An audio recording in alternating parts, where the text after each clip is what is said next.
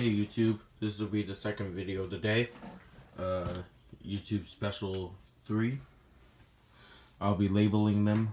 So, this will be YouTube Special 1 plus the title. And then, or Special 3. The other one will be Special 2. And then, the, the first one would be Special 1. So, it goes that way.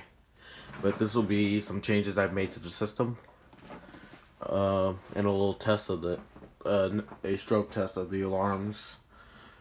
You already saw a little sneak, sneak peek right there. So, we're gonna get started. Sample station. So, uh, we're not even gonna focus on that. This, same from last system test. Same stuff over here.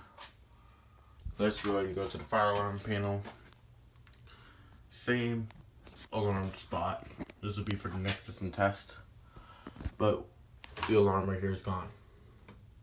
Well, see that little piece of PVC? Everyone's over here and out the door. I put a little door knob because it doesn't want to stay closed.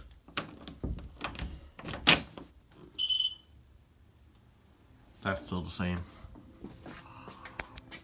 The wire doesn't get pinched. So we just go over here.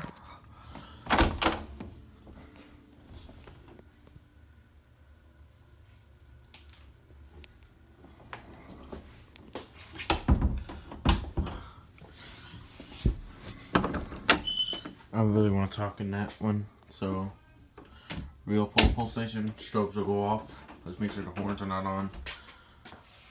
I'll tell you what the stroke, the horns are set on the next test. So we'll pull the pull station.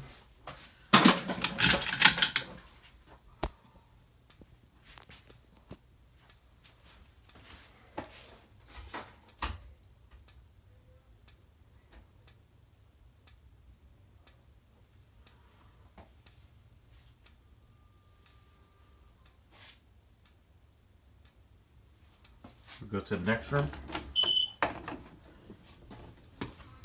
You can already see it.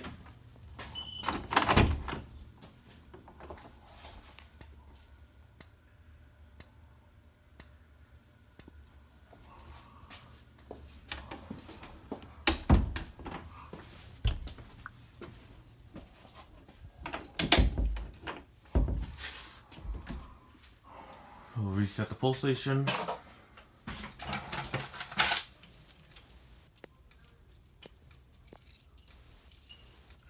Reset left-handed.